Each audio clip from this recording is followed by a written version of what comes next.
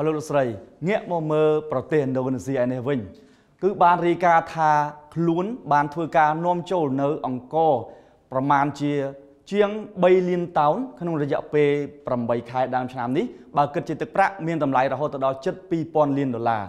ហើយការនាំចូលអង្គរនេះប្រទេសដែលនាំចូលច្រើនជាងគេនោះគឺប្រទេសថៃនិងប្រទេសវៀតណាម ក្នុងនេះខ្ញុំក៏ចង់គូបញ្ជាក់ផងដែរថាកម្ពុជាក៏ជាប្រទេសមួយ ដែលបានធ្វើការនាំចេញអង្គរទៅប្រទេសឥណ្ឌូនេស៊ីនេះផងដែរ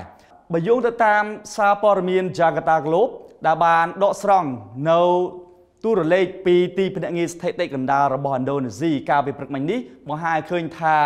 ប្រទេសដែលមានចំនួនប្រជាជនច្រើនជាងគេនៅអាស៊ាននេះគឺបានធ្វើការនាំចូលនៅអង្គរដែលមានរហូតដល់ជាង3លានតោនឬគិតជាទឹកប្រាក់ មានជាងជិត2000លានដុល្លារចាប់ពីខែមករាដល់ខែសីហាហើយប្រទេសដែលនាំចូលច្រើនជាងគេទៅប្រកាន់ប្រទេសឥណ្ឌូនេស៊ីនោះគឺប្រទេសថៃនិងប្រទេសវៀតណាមក្នុងនោះដែរបើយោងទៅតាមស្ថាប័នដដែលនោះឃើញថាប្រទេសដែលនាំចូលច្រើនដូចជាថៃនោះគឺនាំចូលរហូតដល់ជាង1លានតោនឬក្នុងទឹកប្រាក់ជាង700លានដុល្លារចំណែកឯប្រទេសវៀតណាមនាំចូលទៅប្រកាន់ប្រទេសឥណ្ឌូនេស៊ីនោះគឺជាង 87ម៉ឺនតោនគិតជាទឹកប្រាក់ជាង500លានដុល្លារក្នុងនោះដែរយើងឃើញថាប្រទេសប៉ាគីស្ថានក៏ជាប្រទេសមួយដែលបានធ្វើការនាំចេញអង្គរទៅកាន់ប្រទេសឥណ្ឌូនេស៊ីច្រើនផងដែរពាក់ព័ន្ធទៅនឹងការនាំចូលនៅផលិតផលអង្គរនេះក្រៅពីនោះប្រទេសឥណ្ឌូនេស៊ីក៏បានធ្វើការ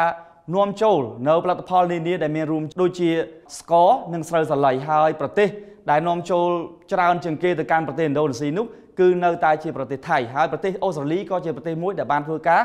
នាំចូលនៅស្រូវសាលីទៅកាន់ប្រទេសឥណ្ឌូនេស៊ីច្រើនផងដែរ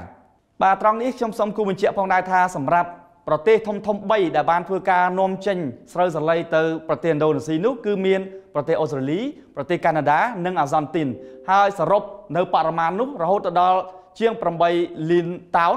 ឬគិតជាទឹកប្រាក់ជាង2000លានដុល្លារបាទអរលោកស្រីនាងកញ្ញាជាទីមេត្រីសម្រាប់ព័ត៌មានសេដ្ឋកិច្ចថ្ងៃនេះឬ Economy Today របស់សារព័ត៌មានកម្ពុជាថ្មីបានឈានមកដល់ទីបញ្ចប់នៅពេលនេះខ្ញុំបាទម៉ៃគុណមករានិងក្រុមការងារសូមអរគុណសូមគោរពលា